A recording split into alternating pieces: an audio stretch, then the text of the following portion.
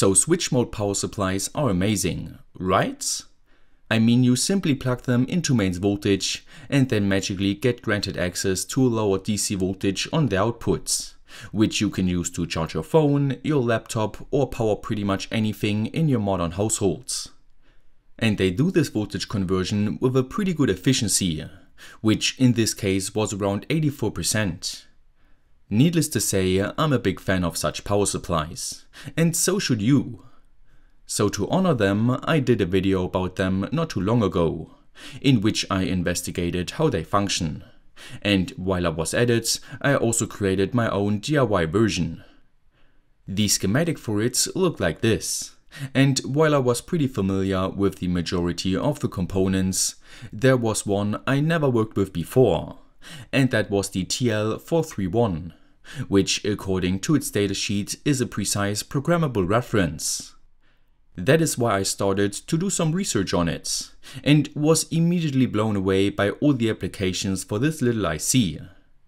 So in this video I will tell you all about how the TL431 works, and how to use it in lots of different applications, including how it is being used in a switch mode power supply. Let's get started!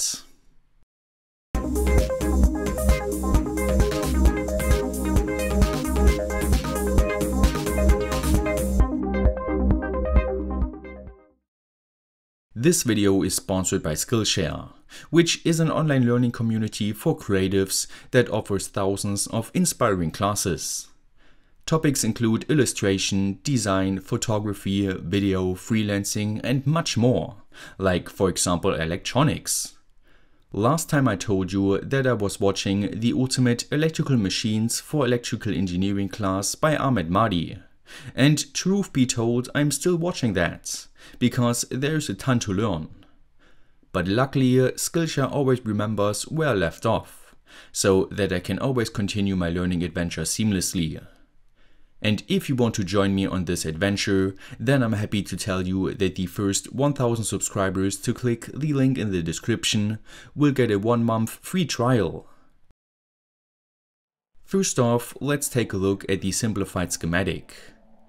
The showcase diode symbol is that of a Zener diode, but why does it have a reference voltage pin? Well, deeper in the datasheet we can find this functional block diagram, which might answer my question. As you can see, all the IC consists of is a comparator, a transistor, a diode and a voltage reference, which is typically 2.495 volts but the IC as a whole does only work when powered with a voltage at the cathode between Vref and 36 volts, which needs to supply a maximum of around 1 mA of current.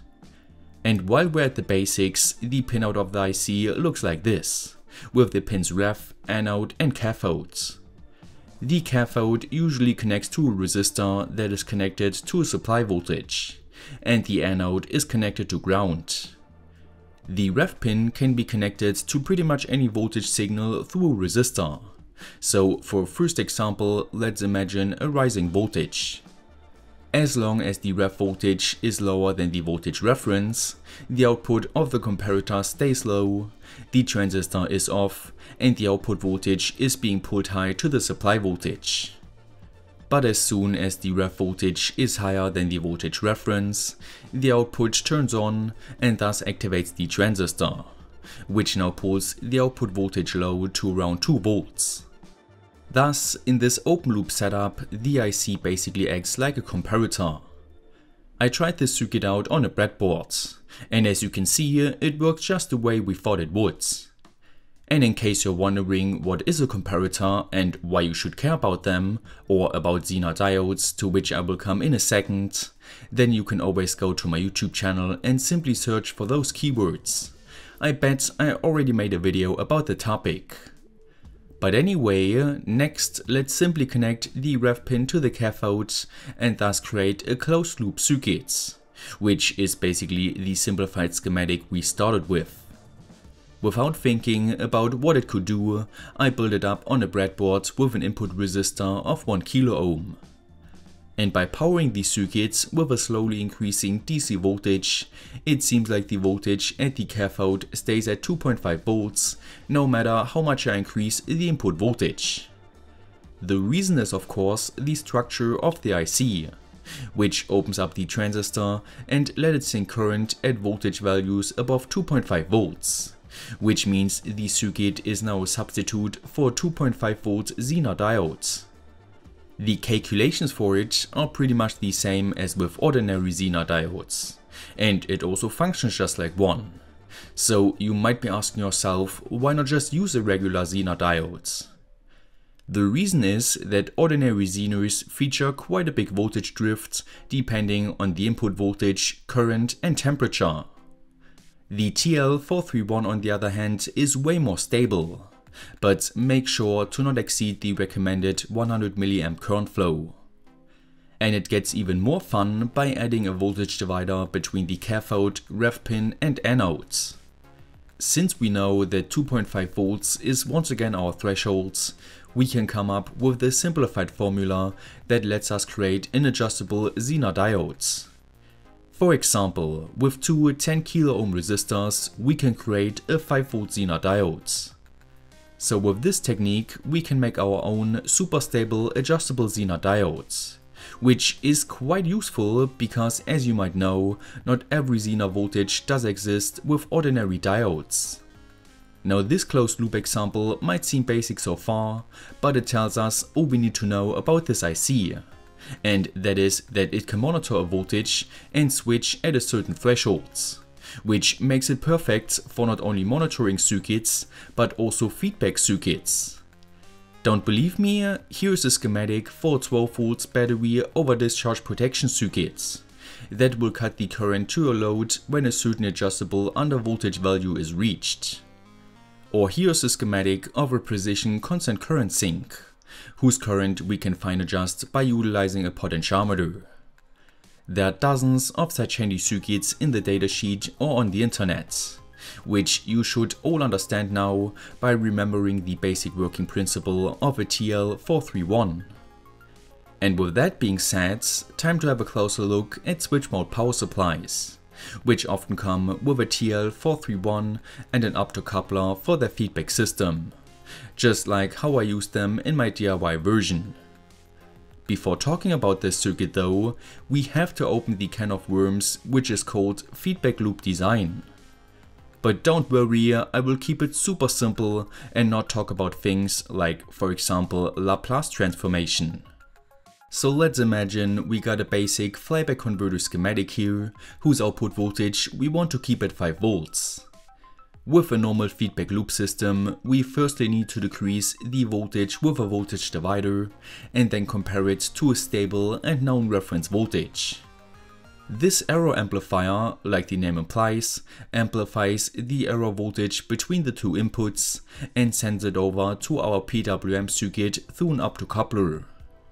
The system works with negative feedback. So if the output voltage increases, the analog error voltage at the PWM circuit decreases, and thus the output PWM duty cycle decreases as well, which therefore lowers the output voltage. Of course, this principle also works vice versa if the output voltage decreases. This all sounds pretty straightforward but you do not often see pure error amplifiers in power supplies, because the TL431 is king here, and can do this job without a problem, by adding a couple of passive components around it. So let's try to figure out their values. The voltage divider needs two 500 ohm resistors, since we once again need to reach 2.5 volts at the ref pin and the output voltage should be 5 volts. The other resistor needs to pass 1mA for the TL431 and 1mA for the optocoupler LED. And since we know that the voltage drop across the LED is 1.2 volts and across the TL431 is 2.5 volts, we can calculate a resistance of around 650 ohm. Last but not least, we got the capacitor, whose purpose and selection goes back to a whole lot of feedback control oscillation theory. But a 100 nanofarad one is a good start for tinkering. And keep in mind that this is only a barebone version of such a feedback system, which you can definitely improve by learning more about the subjects. But anyway, according to this final schematic, I built up my test power supply partly on a perf board and partly in the air, which was not really pretty to look at. I also had to do a bit of teensy programming in order to create the required sawtooth signal with a frequency of 54 kHz. And as you can see, uh, after doing a couple of tests, the feedback system seems to be acceptably stable and works pretty much as expected. So feel free to build such a low voltage switch mode converter by yourself and be amazed what this small TL431 component can all do. With that being said, I hope you learned something through this video. If so, don't forget to like, share, subscribe and hit the notification bell. Stay creative, and I will see you next time.